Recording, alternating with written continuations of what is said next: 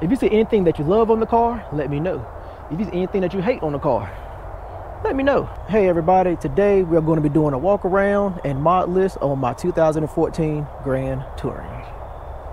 So let's get right into the mod list and since we're out here, we can start with the exterior and the first thing uh, that you probably noticed is that it is slammed on the ground and that is courtesy of Airlift 3H. Most people are familiar with 3P but with the 3H, it also includes the height sensors. So if you have an uneven load, it will self-level itself out. So that is helpful when you are carrying passengers or anything like that. You don't have to worry about it. Keep adjusting your pressure. It will adjust itself and it is pretty handy. Next thing you may notice are the wheels. Uh, these are Weds, Kranze, Ratzingers and these are 19 by 10 and a half and we have 19 by 10 in the front. I'm running 235 35s in the front and 245 45s in the rear these are floating center caps. So as i'm rolling the center caps don't move. They just float in the same position. And they're pretty cool. So i do have a custom what i believe to be is a one-off fiber uh, carbon fiber grill. I got this from a guy in California that had a 2014 Mazda 6 and it fits perfectly and it looks beautiful. Uh, most people have the MV Tuning three bar grill, but I will say this looks pretty cool. And speaking of MV Tuning, I do have some of their aero. So I have their splitter kit in the front, which is nice. Side splitters as well their rear fangs, their rear bumper protector. While we're down here, I have a rear diffuser for quad tips. Got it off AliExpress. It also do it also does have the third brake light. And then I have quad tip exhaust that I got from Amazon and that is connected to a CorkSport axle back and it sounds pretty good. I have the Sunrise tuning uh, duckbill and it adds a little bit to the back without being too aggressive. Looks pretty good in my opinion. Right below it i have the stock tail lights that has a gray metallic pinstripe. And they've been on here for about four years five years and it's holding up pretty good. Looks custom without the custom price.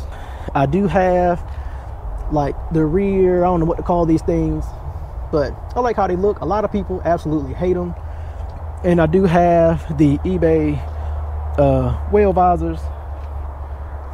And if you do notice I do have a teal or turquoise pinstripe to match my painted brake calipers. And also from MV Tuning I do have their eyelids that I had painted. You know hasn't held up all that well. Maybe the prep wasn't good. I don't know.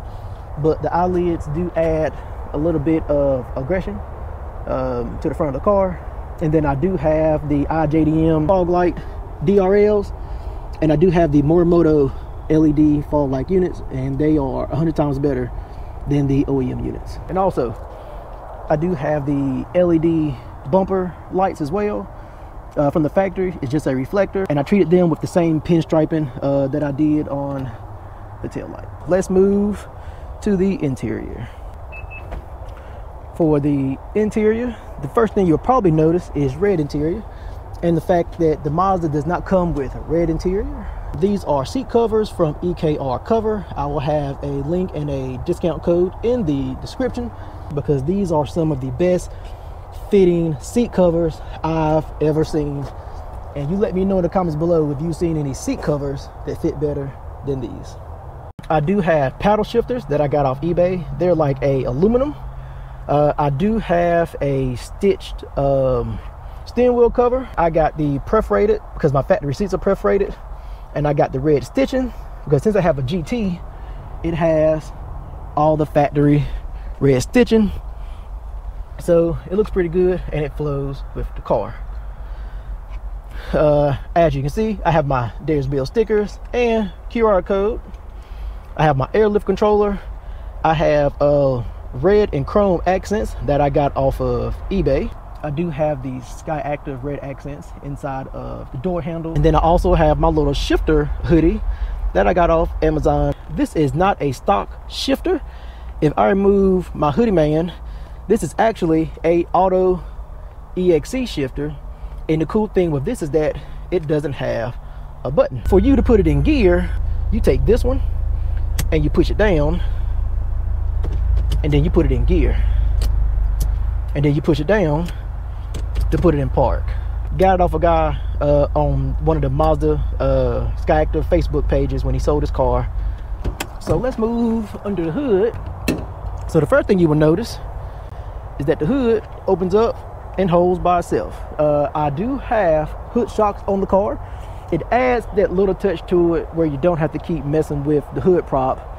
It does have two. Some kits only have one. This kit does have two, and it is held up really good and I like them a lot. I do have a Megan Racing strut bar, the CorkSport uh, CAI with the Cold Air box, uh, the CorkSport uh, 1.1 bar radiator cap. But other than that, everything is stock, and that's pretty much it for under the hood. So let's move to the trunk. Now you may ask, wait a minute, your car is bagged, so where's all your stuff? Well, I have two slim two and a half gallon tanks so it's four gallons total. Uh, but I like these because I can tuck them up and I have way more room in my trunk.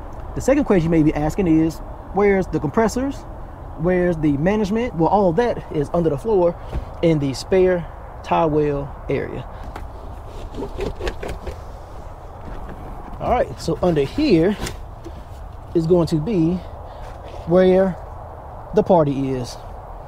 So of course, as you can see, um, this car does not have a full tire well. It only has a half tire well. But you can see that I do have my two Viair uh, air compressors, and I also have my management. And it's pretty much all it is to it. And that is pretty much all the mods that I have done to my 2014 Mazda 6.